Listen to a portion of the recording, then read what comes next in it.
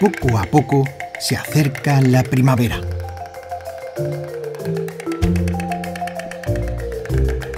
Yo estoy en los 70 años y me parece extraordinario lo que me queda por vivir todavía y a mí me parece que esto no, no, hay que descubrirlo, esto lo que hay que hacer es trabajarlo y disfrutarlo.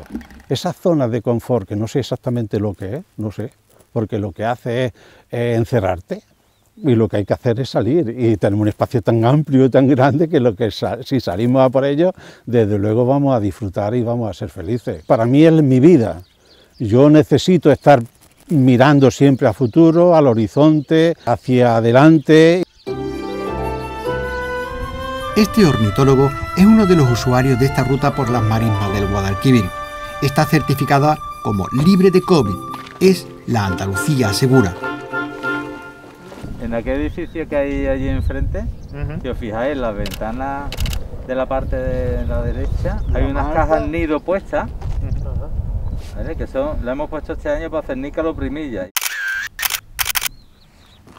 Tienes que llevar tu mascarilla, tienes que tener todo el material cada vez que se usa totalmente limpio, los vehículos que se utilizan en los traslados de una observación a otra de la naturaleza están también mm, con unos sistemas de seguridad porque se, se, tratan con ozono por dentro, por ejemplo, cada visita, después de cada visita se limpia todo lo que se pueda tocar dentro del vehículo. De Andalucía segura, se llama la certificación. Y ahora en vez de ocho personas, como máximo vamos a mover cuatro personas, o sea, estamos al 50%.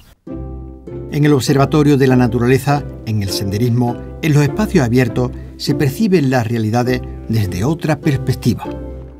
Las luces, las luces son impresionantes. Eh, nosotros los sureños sin luz no seríamos nada. Y la luz la descubre en un insecto, en una flor, en una planta, en un eh, flamenco, en una garza. Y en estos espacios abiertos, llenos de estímulos de color, de sonidos, apenas se intuye el miedo. El miedo también es un elemento que te hace ser valiente.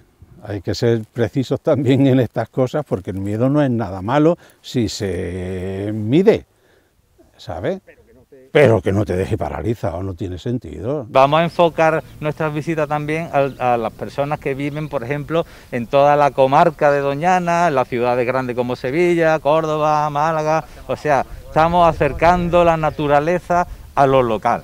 La ruta de ornitología ha elegido otro punto de avistamiento próximo a un humedal.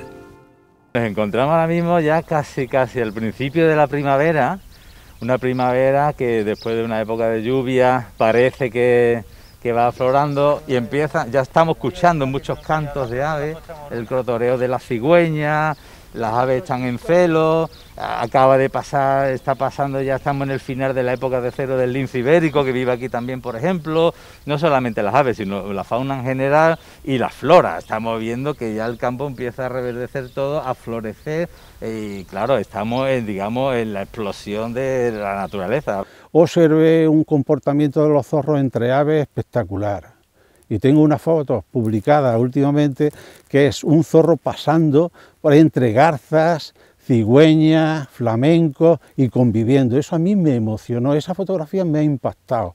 Eh, me acuerdo, por ejemplo, de una persona que no había visto nunca un águila imperial y era un ornitólogo de renombre internacional. El águila imperial solamente se ve en pocos sitios en el suroeste de España, sobre todo, para él era algo impresionante, es como, como el que, bueno, el que va a, ver una final de la Copa de Europa y gana su equipo. Álvaro, biólogo y consultor ambiental, propicia el acercamiento a los espacios naturales.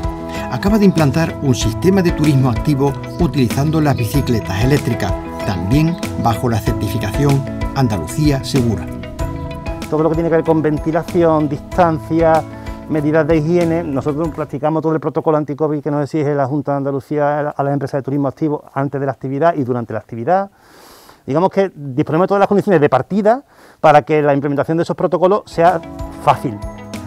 Eh, al montar en una bicicleta eléctrica estás pues, experimentando una sensación totalmente placentera, de avance, de aventura, diversión, te desentiendes prácticamente de dónde vas, de lo, que estás haciendo y disfrutas del entorno con total plenitud. Lo bueno que tienes es que te asegura la vuelta. La vuelta, no te tienes que preocupar por la vuelta. Estamos hablando de unas distancias en una mañana de 40 kilómetros perfectamente en personas normales. Ya le decimos que nosotros queremos popularizar el uso de la bicicleta para toda la familia.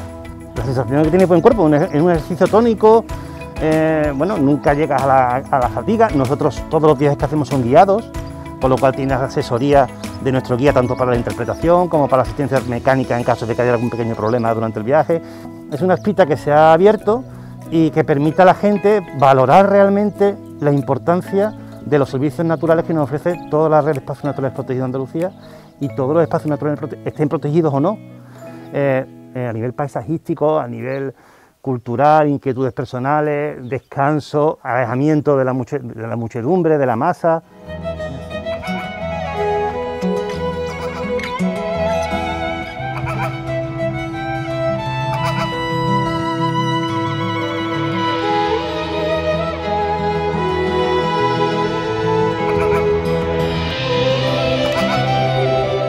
Acaban de llegar las cigüeñas que emigraron a África. Ahora se agrupan y aprovechan las térmicas para iniciar la dispersión por la península ibérica y resto de Europa. Otras se han hecho residentes y comienzan el cortejo nupcial. A lo largo de esta mañana hemos visto y sentido otro horizonte. Es la Andalucía segura.